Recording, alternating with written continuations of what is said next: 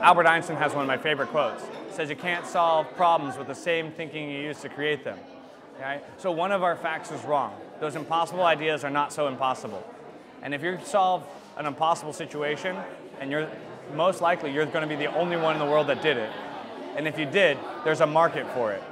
So you have to question what you know. You have to be willing to take that next step beyond your comfort zone. Magic. I've built a 27 foot, 7,000 pound, so three and a half ton prop, and it doesn't work. it's the world's largest paperweight.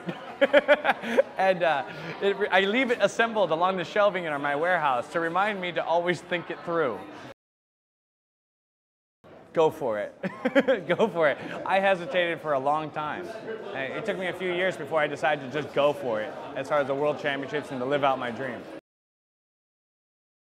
Believe the books I read.